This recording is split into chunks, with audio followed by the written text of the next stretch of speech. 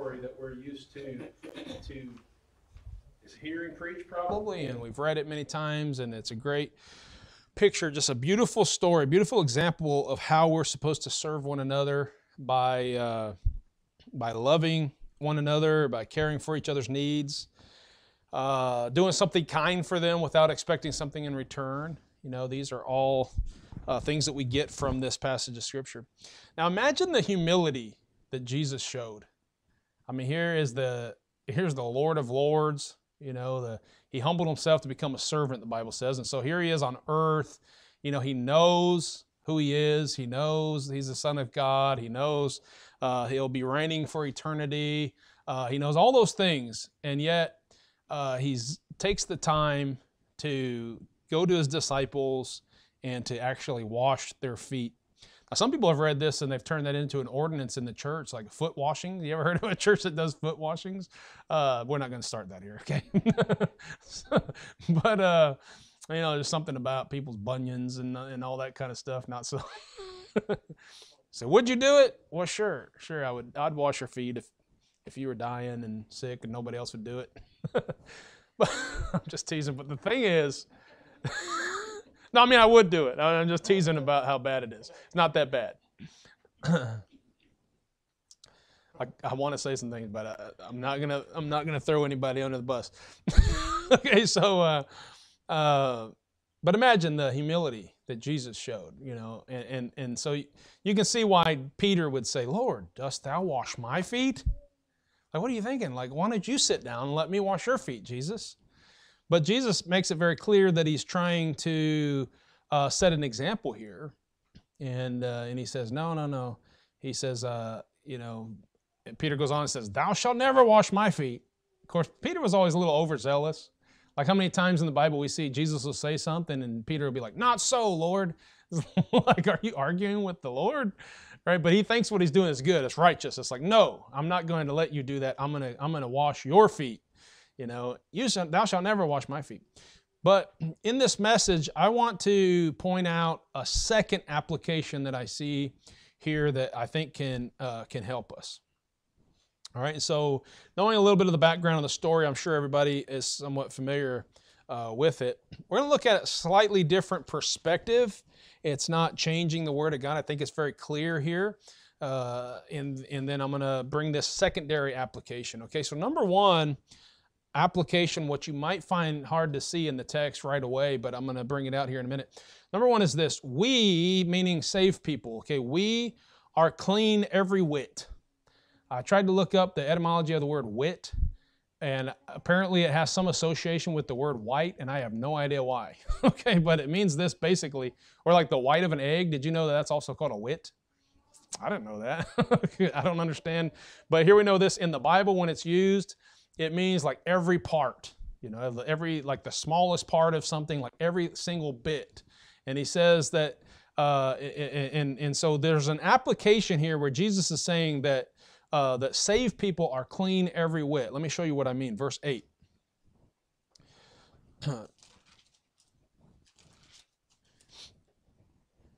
Let's go, let's, yeah, start in verse 8. Peter saith unto him, Thou shalt never wash my feet. Jesus answering answered him, saying, If I wash thee not, thou hast no part with me.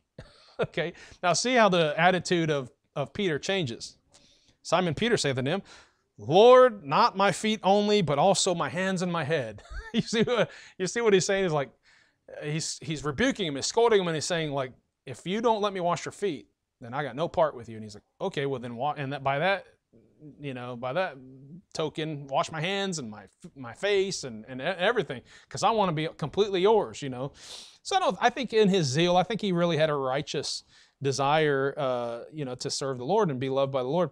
But Jesus saith unto him this, He that is washed needeth not save to wash his feet, but is clean every whit. And ye are clean, but not all for he knew who should betray him. Therefore, saith he, Ye are not all clean. Now, it might be a little tricky here, but if you, if you kind of put it all together and you read a little bit about Judas and you understand that Judas was never saved, okay, he just hung out with them, he stayed among them, uh, you know, he, he held the bag, which means he must have been somewhat trustworthy. And, uh, you know, whenever they, uh, somebody would lavish upon the Lord and they break open some expensive ointment or something like that, he'd be like, hey, we should have given that to the poor. And the Bible says he didn't say that because he cared about the poor, but because he was a thief. So he's just there pretending to be something that he's not. He wasn't saved. He definitely wasn't saved. And once we are saved, uh, I believe that there's an application here where Jesus is saying, "Hey, you are you are completely clean. You are uh, you are saved." Now, notice this when he begins talking to him. Uh, where was that again? Verse eight. When he begins talking to him, he says, uh, "Let's see, verse verse ten. Actually, whenever he responds, he says this: He that is washed needeth not to save." Uh, needeth not save to wash his feet, but is clean every whit. So this is singular. Okay, he's talking about every, every person. Um, every person need not. Uh, he that is washed. Okay, that's one person. Needeth not save to wash his feet is singular, but is clean every whit. And then he says, "And ye are clean." Now, what does that? What's ye mean? Well, ye's plural.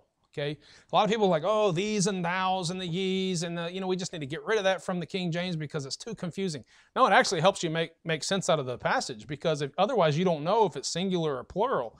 Okay, so anytime you see uh, ye or you, something that starts with y, your, uh, that's going to be plural. And anything that starts with th, thee, thine, thou, is going to be singular. Okay, depending on the uh, the context, which one to use. But that's that's pretty much a, a, a you know something and i didn't even learn this till i was like part i was like almost all the way through bible college and it's not that maybe it was taught to me and i just didn't pay attention or something like that but whenever that stuck with me i was like wow that really changes the way that i read the bible because i understand the what's singular and what's plural you know the first one that jumped out to me whenever i learned that was whenever jesus tells nicodemus marvel not that i say unto thee ye must be born again so he's like, I'm talking to you, but I'm talking about everybody's got to be born again for the, in, in order for them to be saved. And that was the first time I noticed that difference. And I'm like, oh, wow. And then like I just started learning like singular and plural. Why didn't anybody ever tell me that? You know, you need to know what the these and the thous and the ye's and, and all that are. So here he's saying uh, singular, he that is he he that is washed needeth not save to wash his feet, but is clean every whit. And then he says plural, and ye are clean, but not all. And so what he's doing is saying, you know, you you guys, my disciples here, you're clean. You don't need to for me to wash your, your hands and your face and all that kind of stuff, just your feet. And I'll talk about that here in a minute. But he said, You're clean, because you're clean every whit. Like you're you're completely clean. He said, except for one of you. And then it says, because he knew Judas would betray him and he knew that he was a devil and all those kinds of things uh, that we put two and two together from Scripture regarding Judas. But he said, but for the rest of you, you know, this is what he's saying, is that you are clean every whit. Let me read you a couple passages of Scripture here that show you this. If you're saved, you're clean every whit. It's hard to imagine uh, how somebody in their wickedness, you know, committing sin, doing different things, uh, how they can be righteous and can be clean, but they are. And in the Bible, when you see God talking about somebody like even Lot, I mean, the story, the Bible doesn't tell us a whole lot about the life of Lot, but the parts that he does tell us, we're like, that's not a clean guy. But yet, God calls him just, and he says his righteous soul was vexed. And so here's a man that God considers to be clean. And, uh, and, and really, we understand that from Scripture, but at the same time, uh, sometimes it's hard to, hard to understand that when you're reading. And uh, even I was thinking about when, I didn't write it down, but when Jesus says, uh, you know, he's going to tell those people uh, uh, on the right hand, he's going to say, hey, uh, you know, you you loved me and you took care of me. I'm, I'm totally paraphrasing because I can't remember the exact phrase. And he says, uh, he says, and well, you gave me water when I was thirsty, and you gave me. And they said, when did we do that? And he says, you know, whatever you did to the least of these, you did unto me. And then he talks to the other ones and he says, hey, you didn't do this. And I remember, you know, people get confused on that and they read that and they say, well, see, it's all about works got to do the works. And this group here, they did the works, and so they get to go to heaven, and these didn't do the works, so they have to go to hell. And then some people said, No, we don't believe that. We believe you go to heaven by grace. And so they said, Well, it's just a different dispensation. Like, you know, we don't go to hell for that. But in the, you know, after the tribulation, then those people who are judged according to their works. And so some go to hell. That's, this is what they teach because they say, No, there's no way that we could. Here's what I think I think that he's just saying he's identifying Christians just expecting that the Christians do good works. Because guess what? When we stand before God as Christians in final judgment, He doesn't even look at our sins. You know, he judges us based of the works that we did for Christ, and He rewards us for those works. But He doesn't even judge us according to our sin because that's already gone. Our body, once our body perishes, you know, we're in heaven, and we're only rewarded for the works that we did. I'm not going to take time to prove that, but I mean, I, I can prove that from the Bible. And so I think He's just lumping everybody in and he's saying hey this group of people here you did good works you helped people you know you did all these all these wonderful wonderful things and to this other group, he's saying, You didn't do these things. And I think he's just saying, Hey, you know, when you judge this group, and this is something I talked about this morning a little bit about the first resurrection, second resurrection. Those people who are involved in the second resurrection, they are raised after the thousand year reign of Christ, they are raised up to stand before the final judgment of God. And he judges them according to their works. And he says, Man, you are some wicked people. You know, you and he just like all the negative, he doesn't even see the good. It's almost like the opposite. You know, with the wicked crowd, I mean, with the unsaved crowd, he sees their wickedness, doesn't see their good. With the saved crowd, he sees their good and doesn't see their wickedness. I mean, it's kind of like the judgment uh, is is like that. And so that's what I that's what I think. Okay, but it's hard to imagine that because in our in our minds, we just see, hey, that person's is good, that person's bad.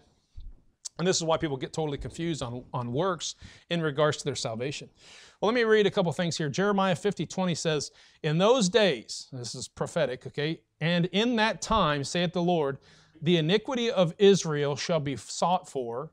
And it's and I don't want to get into the whole lot of doctrine here, but the iniquity of Israel at this point is talking about God's people, okay, which I believe includes all God's people. And the iniquity of Israel shall be sought for, and there shall be none. And the sins of Judah and they shall not be found, for I will pardon them whom I reserve. Okay, so God, you know, if you're looking for sins, I remember one time I had this, uh, I may have shared this with you before, but one time I had this idea for a short story. And I probably shouldn't tell you because somebody somebody listen on live stream and they'll steal this and they'll make a million dollars off. No, I'm just kidding. I had this idea for a short story where somebody is reading in the Bible and because and the reason why is because I was doing this. At this time I was studying the life of David and I was like, man, David, I hate the way he treated Michal, and I hate how he did to Phaliel, I think is the name of Michal's uh, uh, husband, and uh, and he did this. And how about Bathsheba, and then killed Uriah? And I was thinking all these things, and I picture this person who was saved and goes up to heaven and is like, hey, when I get to heaven, you know, I'm going to uh, really address this issue and I'm going to confront David. And then he gets to heaven and he sees at the table, it's just totally fictitious, okay, just my weird mind.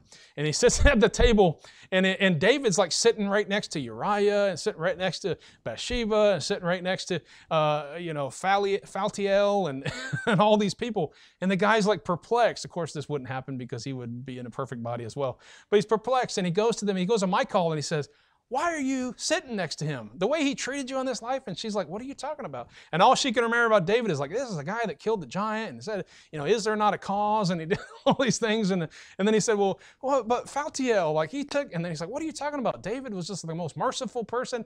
And all they can see is like the good works that David did on this on this life. He can't even they can't even see the uh, the bad works. Anyway, that's kind of a weird thing. But in a way, that's what I read in, the, in, in some of these verses. He's like, you know, you'll look for iniquity and it won't even be found.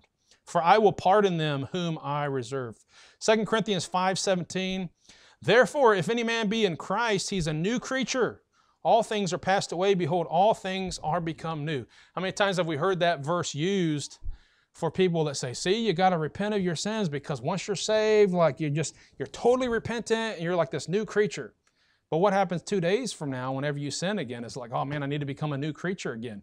He's not taught, the new creature is the inward man. See, the, the outward creature now, hopefully his life changes. Hopefully, once you get saved, you want to serve the Lord and you go to church and you do all those things. But the new creature is the inward man. This is the part of you that's saved. This is the part of you that can't sin. So when Paul says, hey, if I sin, I mean, if I uh, do the things that I don't want to do, it's not me that sins anymore, but it's the sin that's in me. You say, well, well that's a convenient excuse. It's just the reality. that uh, the true us, once we're saved, is perfect. It's clean every whit and it goes to heaven and, uh, and god looks at it as righteousness because it's covered through the blood of jesus christ and uh, he paid for all those sins 2 corinthians 5.21 says for he hath made him to be sin for us who knew no sin that we might be made the righteousness of god in him jesus from what he because of what he did God now looks at us and sees the righteousness of Christ. We're made righteous in Him. Now that sounds like, oh man, you're just giving an excuse to just go live however you want. No, if you live however you want in this life, you're going to pay for it. You know, you live in however you want in this life, God's going to chasten you uh, because He wants you in this life to uh, learn some valuable lessons and to live for Him and be fruitful and produce fruit and get people saved and do all these uh, these things for Him in this life, which also, incidentally, is going to lay up treasures in heaven that you'll experience in the uh, in in the second life. Okay, so the first point here is that people who are saved are clean every whit. All right. Now, number two, we still need to have our feet washed. okay. And again, the illustration is going to break down a little bit, but this is the point I think is clear that uh, that Jesus is is saying. Okay, so he says, "Hey, you don't have to." What verse was that again? Verse nine. Uh, no, no, verse ten. Jesus said, "He that is washed needeth not save to wash his feet." All right, so save means you know, except for this, like only except for this. He, he doesn't need to be washed save to wash his feet, but he's clean every whit, and ye are clean, but not all. So here's a picture that I get in my head. Say you just got done taking a shower or a bath or whatever, and you're nice and you're clean. Excuse me, I'm gonna get a water here. And uh, and this is a scenario that I'm sure a lot of us can can relate to. And so you get out of the shower, and then you're like, oh man, I forgot my phone's on the charger in the car. Something that happens to me quite a bit. But I'm already, I'm already taking, I've already taken a shower, but I don't want to put my shoes on. And so I just walk out to the car barefoot, except that it just rained. And so now I'm on my way out to the car, I'm squashing through the mud. And when I come back, I got muddy feet. Wouldn't it be kind of silly for me to be like, oh man, I got to take a shower again?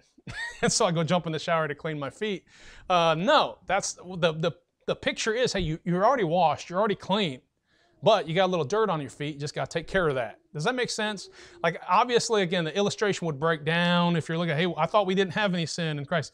Yeah, but the point is, like, in this life, we need to address sin in our life. Even though God sees us as clean, even though we're going to heaven, we still need to address the dirty feet, okay? Uh, because the dirty feet are going to uh, cause cause problems. Okay, and this is a great picture of why we need to still ask forgiveness. You know, because it's like, well, I thought I was already forgiven. Now, let me tell you another verse that a lot of people misunderstand. First, First John chapter one.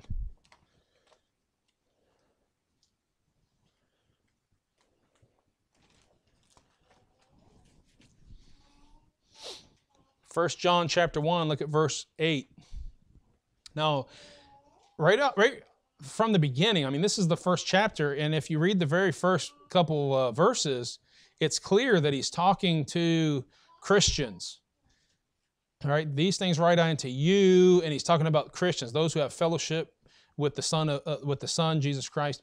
And so, anyway, here's what he says in verse six: If we say we have, uh, uh I'm sorry, verse eight. If we say that we have no sin, we deceive ourselves, and the truth is not in us. Now you say, well, wait a minute, but I thought we didn't have sin. Yeah, the, the inward man, the new creature, is sinless, but he's talking to Christians who are living in this flesh and who are dealing with sin on a regular basis. And he says, if we uh, say that we don't have sin, which by the way, there's a lot of people that say that. And it's like, you look at him like, you really trying to convince me that you have no sin? it's bizarre, you know, but that's what people say. If we say we have no sin, we deceive ourselves and the truth is not in us. If we confess our sins, He's faithful and just to forgive us our sins and to cleanse us from all unrighteousness. If we say we have not sinned, he, we make him a liar and his word is not in us. Now, some people will take this as a salvation verse and they'll say, see, if you confess your sins, he's faithful and just to forgive your sins and cleanse you from all righteousness. And so they'll say, well, how do you get saved? Well, you just got to ask God forgiveness for your sins. Not exactly. I mean, that's that's part of like admitting you're a sinner, saying, "Oh man, I deserve to go to hell. I need forgiveness of my sins." I mean, that's part of salvation. But really, if a person just said, "Oh, you know what?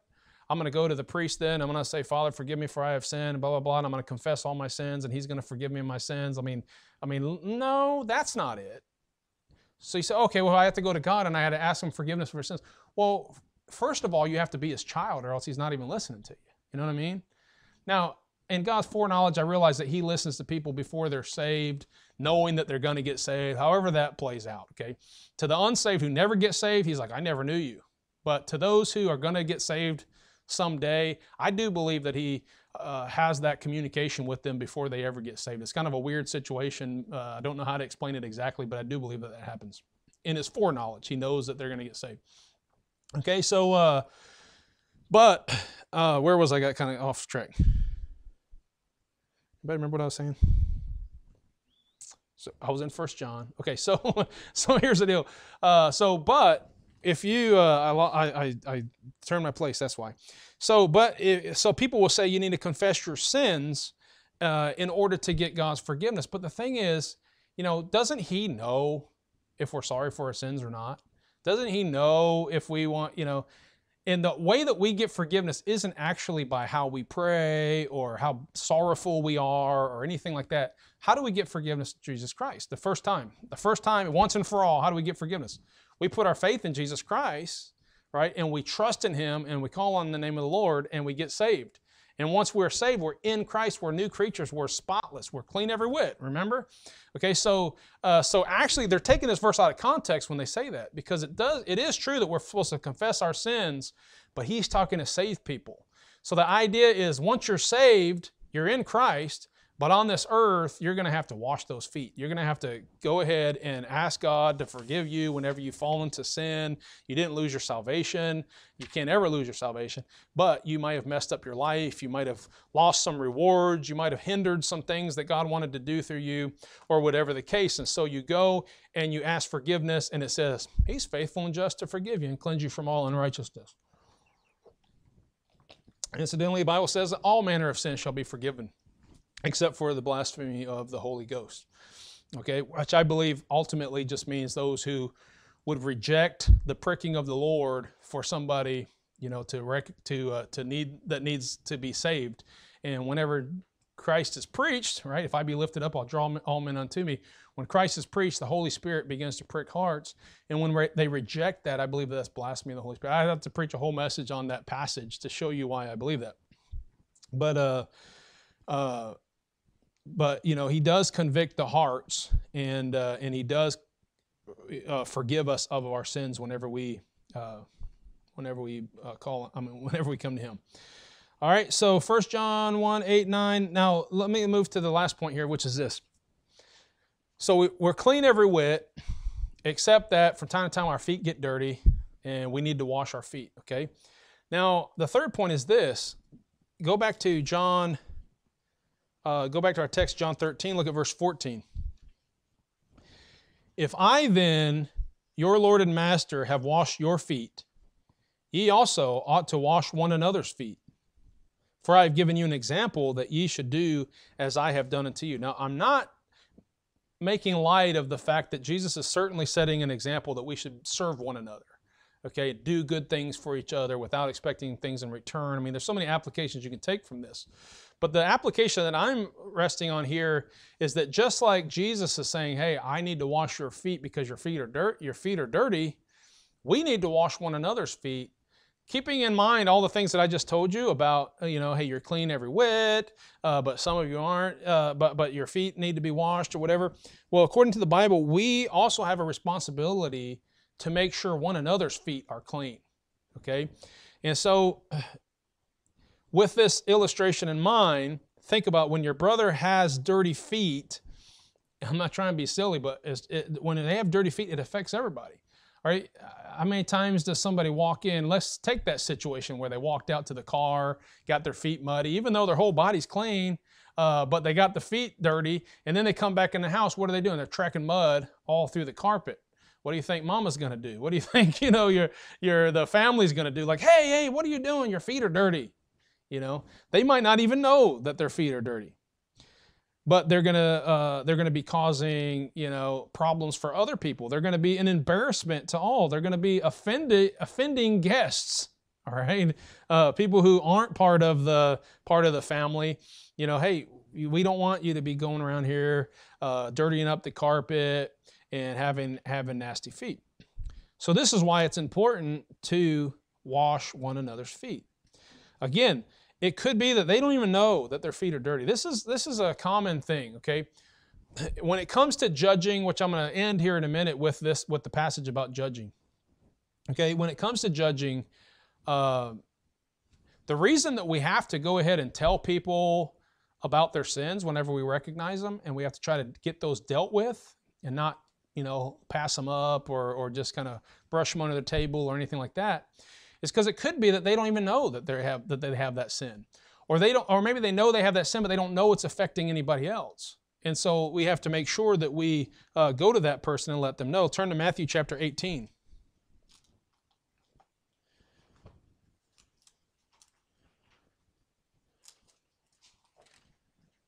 Matthew chapter 18.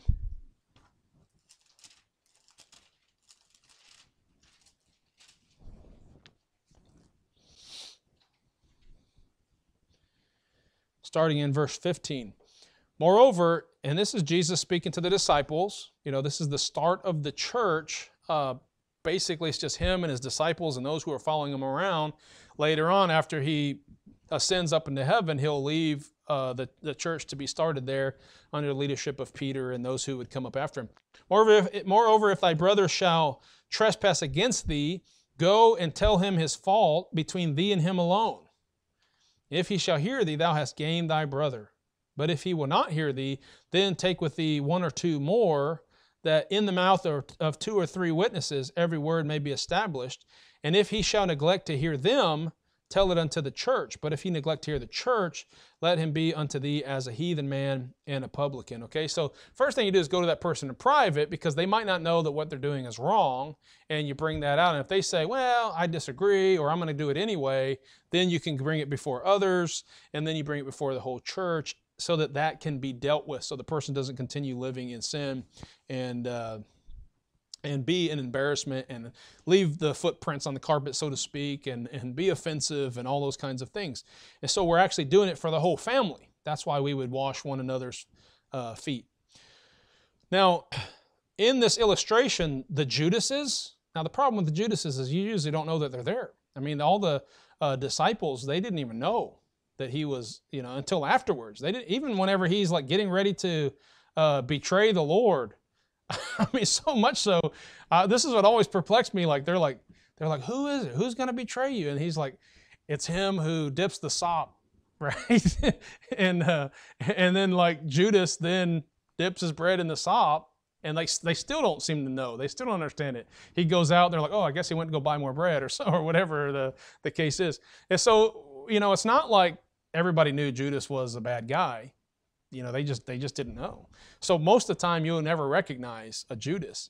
But if you do know judas somebody who's not saved they're preaching false gospel uh, they're trying to pretend to be something they're not they're that kind of like wolf in sheep's, clo- sheep's clothing that you uh, that we read about that person once they're discovered they need to be kicked out uh, you know if they're not going to get saved and they're not going to uh, uh, you, you know if, if they're going to continue to be that person they need to be kicked out if it's even possible to spot them, which is probably not.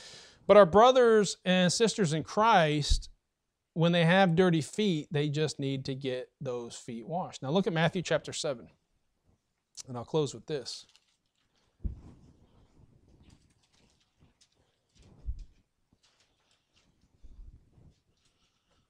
Let me a short message. Matthew chapter 7, the famous verse, most quoted verse, probably in all the Bible, right? The most loved verse by the world. Judge not that you be not judged. How many times have you heard that? Judge not. Judge not that you be not judged. But the, Jesus goes on to say this For with what judgment ye judge, ye shall be judged, and with what measure ye meet, it shall be measured unto you again. And why beholdest thou the mote that is in thy brother's eye, but considereth not the beam that is in thine own eye? Or how wilt thou say to thy brother, Let me pull out the mote out of thine eye, and behold, a beam is in thine own eye? Thou hypocrite, first cast out the beam of thine own eye, and then shalt thou see clearly to cast out the mote out of thy brother's eye. Uh, okay, so what is he talking about here? So when it comes to dealing with our brothers and sisters' sins, you know, when it comes to washing their feet, so to speak, They're not saved. You know, we understand they're saved. We're not saving their souls as far as their eternal souls, uh, but we might be saving them from some damage and destruction uh, that might happen to them. But the first thing we need to do before we go about trying to clean someone else's feet is consider our own feet, right? Or in this case, the be- the beam that's in our eyes. You know, we need to remove that before we can see clearly to help them remove the mote that's in, in, in their eye. So the first thing we need to do is consider our own selves. Okay, we, uh, it's, it's crucial, but it's hard. It's really hard. It's so easy to see other people's sins, so hard to see our own sins.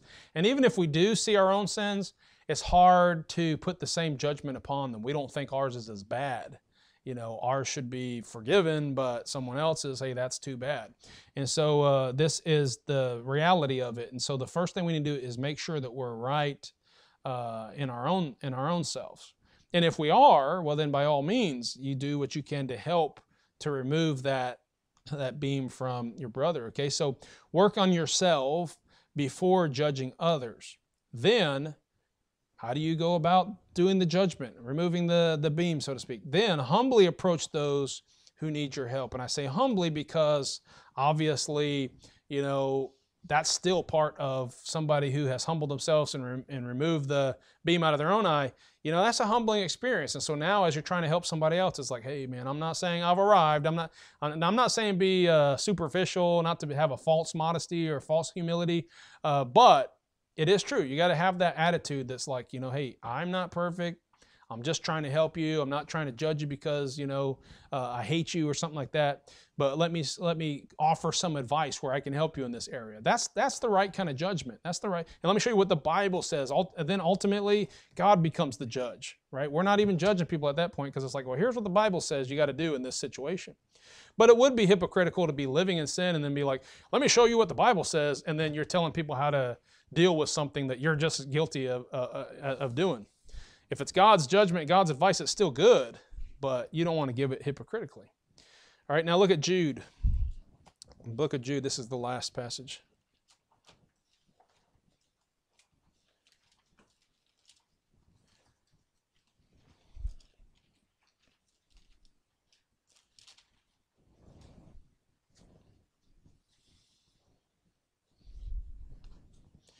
And then, of course, in that analogy that not analogy, but in that uh, example that Jesus gives in Matthew 7, I'm not in Matthew 7, Matthew 18, where he talks about going first privately to your brother and then taking another person with you and then ultimately bringing before the church.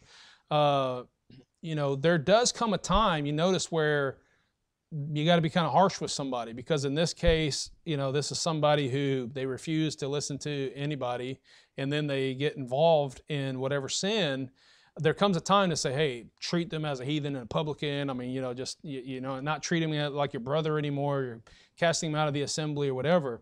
Okay, Jude, Jude uh, look at verse 21, only one chapter. So, verse 21. Now, notice this because this is a passage of scripture that, again, I feel like we we quote a little out of context because I often use this as a soul winning verse and it's all right. I don't think I think it still is a is a good example, a good uh, illustration to use. But I actually think he's talking about Christians, and let me show you why. He says, "Keep yourselves in the love of God." Who's he talking to? Christians, and he's talking about keeping one another in uh, the love of God, looking for the mercy of our Lord Jesus Christ unto eternal life, and of some have compassion, making a difference. Okay, that's that should be the goal. But when they won't receive that compassion and they won't be brought back in love and compassion, others, save with fear, pulling them out of the fire, hating even the garment spotted by the flesh. There comes a time where you're rough with somebody because they're not accepting the, the, the weight and the gravity of their sin. And so you get a little bit uh, rough with them. And this is, this is uh, what would happen if somebody said, "Hey, I just took a, I just took a shower. I'm not dirty." Well, you're leaving footprints on the ground. Can't you see? Stop for a minute and look. You know how many parents have to kind of get a little aggressive with your kids every once in a while. Not because you don't love them, because they're not listening. Okay, and so this is the idea about harsh judgment that sometimes has to come on people, uh, but it's because they continue to be involved or to live in some kind of a sin. All right, so anyway, this is just a great application, I think, that we can get from this passage of Scripture, beside the just general one of, hey, serving one another and loving one another and do nice things for them. Uh, but I don't think we have to have this ordinance either about going around and literally washing people's feet. Uh, but at the same time, I think another, this is an illustration that we can get that we need to, first of all, you know, have our own feet washed. And uh, by the way, how do you get your own feet washed? You go to Jesus, right? Jesus is the one who's washing feet in this story. And he's the one that will clean your feet, just like he's the one that saved you. He's the one that's going to help you in this life to uh, to get through this life and try to be spotless as much as possible when you're presented to the Lord. Okay, and then uh, and then we also need to do the best we can to keep one another uh, from having the dirty feet, so to speak. Let's pray. Lord, I pray uh, that you'll help us as a church, first and foremost, to just uh, recognize you as the supreme authority and fear you adequately as we ought to because uh, you are the final judge, final say.